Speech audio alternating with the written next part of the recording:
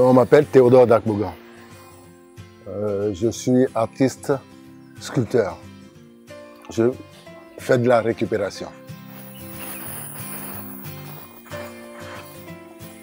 C'est après, après le symposium de Canada que j'ai vu il y a autre dimension qui me permettent quand même de, d'avoir de très bonnes sculptures, de, de très belles œuvres.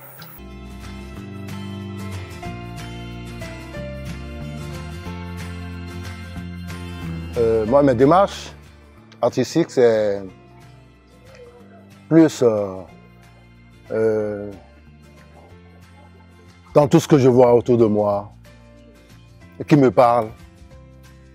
Quand je regarde, ça me parle, ça me dit, et moi, si je lui parle, si on, se comprend, c'est-à-dire, se comprendre, c'est cette manière de prendre déjà un côté qui a déjà une forme et qui me dit intérieurement, cette forme peut te permettre de faire telle chose. Donc c'est un peu comme ça, moi j'évolue dans mon, dans mon système, dans mes démarches artistiques. Ça, vous avez senti, il n'y a, que, a, de, a que de feuilles parce que aujourd'hui, c'est la nature pour moi, nos origines. Aux origines, je suis en train de, de faire quelque chose. J'ai même un projet en cours.